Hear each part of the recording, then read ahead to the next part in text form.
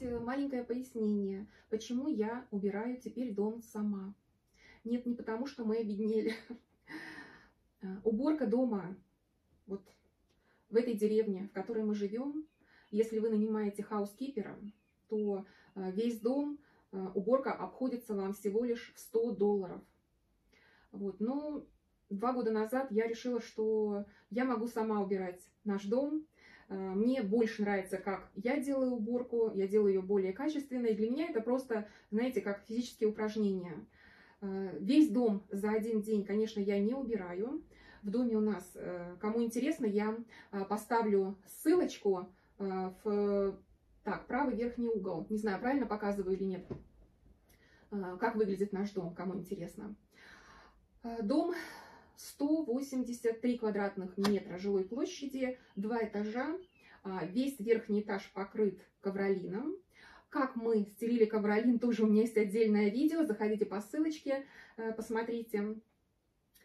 И вот на уборку у меня уходит несколько дней один день я, например, меняю белье постельное во всех комнатах. У нас есть гостевая комната э, с кроватью queen size и э, наша спальня с мужем. И в этот же день я убираю э, две ванные комнаты. Одна для гостей, одна наша. Намываю там и туалеты, и раковины. В общем, пол мою, вытряхиваю половички или стираю их, все, что нужно. Если нужно там в душевой комнате, тоже там навожу. Ну, в общем, полностью такую генеральную уборку делаю. Вот. В следующий день э, я, например, только, вот как сегодня, пылесошу карпет. Э, ковровое покрытие называется в Америке карпет. Если у вас отдельный такой ковер, который вы можете двигать, переносить, то ковер такой называется по-английски раг. Вот, у нас все в карпете. И третий день я уже мою весь Э, первый этаж, там у нас э, лежит, как правильно называется, плитка и лежит, ну, что-то типа ламината. Покажу вам тоже, как я там убираюсь. Вот. И четвертый день отдельно я уже намываю всю кухню, потому что я там мою все абсолютно поверхности. Живем мы вдвоем с мужем, иногда к нам приезжают гости, иногда к нам просто гости приходят там на вечер, вечеринки, как мы тут устраиваем.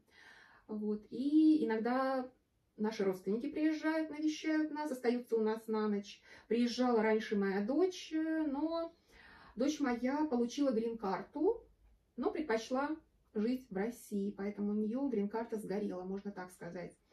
Эм, от нашего предложения с мужем э, здесь поступить э, э, в колледж любой, какой она захочет, единственное условие, это должен быть эм, государственный колледж мы готовы были оплатить, мы готовы были ей оплатить проживание, обучение, вот, э, но она отказалась, она не захотела. Ей нравится жить в Санкт-Петербурге, поэтому она вернулась туда и надеюсь, что у нее там все хорошо.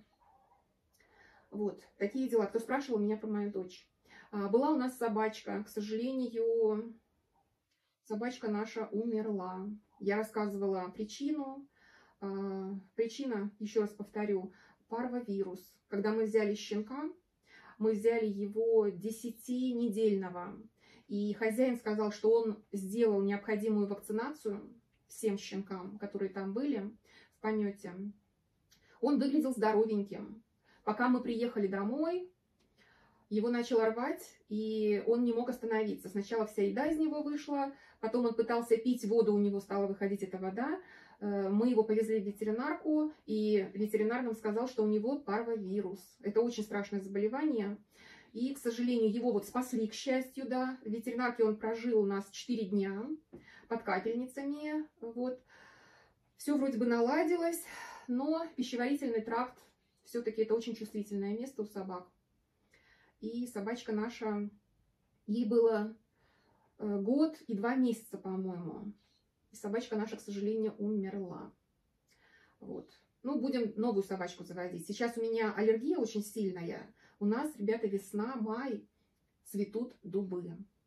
И если всю остальную аллергию еще как-то можно, знаете, избавиться, вы там чихаете, может быть, у вас там нос отекает, да, но есть какие-то там спреи, побрызгали, какие-то, э, не знаю, там, ну, против э, аллергии приняли лекарства, там помогает, мне, по крайней мере, помогало.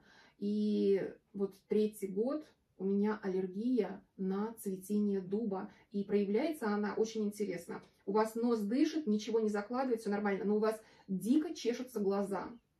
И остановить это просто невозможно. Я обратилась, естественно, э, э, ну, как назвать, э, к моему доктору. У нас э, Кайзер Перманента называется наша компания.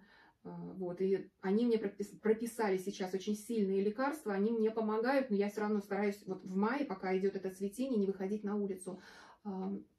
Когда закончится цветение, я пойду, э, попрошу, чтобы меня прокололи. Знаете, вот эти инъекции есть, э, там несколько уколов делают, и, по-моему, несколько лет нужно делать эти уколы, чтобы вот избавиться от этой аллергии.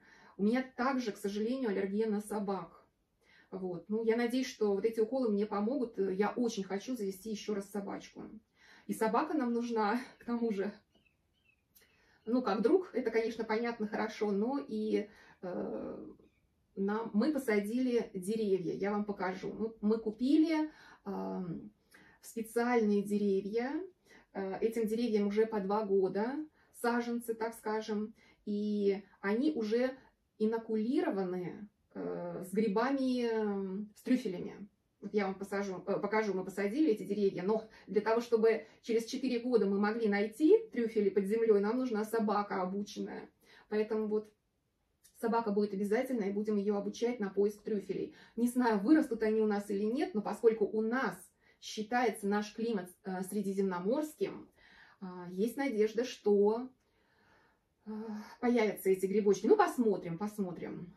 Пока еще нам 4 года ждать.